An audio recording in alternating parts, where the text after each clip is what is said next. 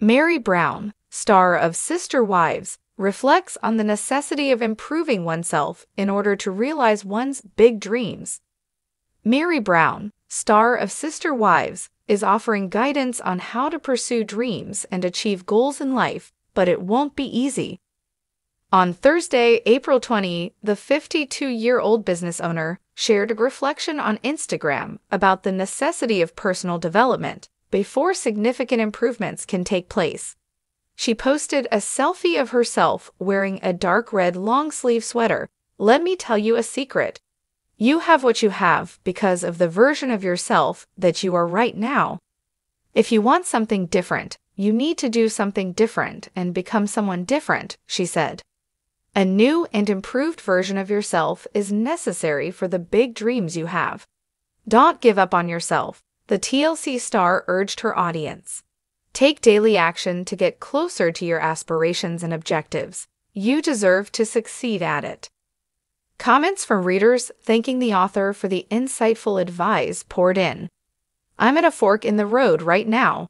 One user wrote, This was absolutely a sign. I needed to see this today. I stumbled hard trying to achieve my dream, and I feel unworthy and not capable at the moment. I'm working to get past that.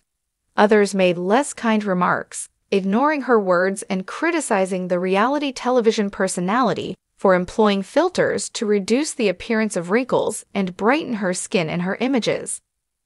One remark read, Why always a filter on your photos? This is not you. You're beautiful. Don't do that and this sentiment was shared by a number of followers.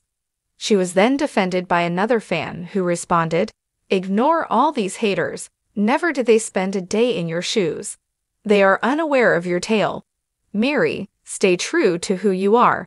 The mother of one recently stated she has had to learn to embrace life's ups and downs, and that she frequently feels as like she is locked on a emotional whiplash roller coaster. She advised earlier this month to put your hands in the air, grab onto that security bar, and just ride that emotional roller coaster.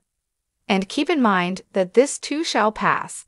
This too shall pass, whether it is good, bad, or indifferent. Friends, worthy up with me. We can do this.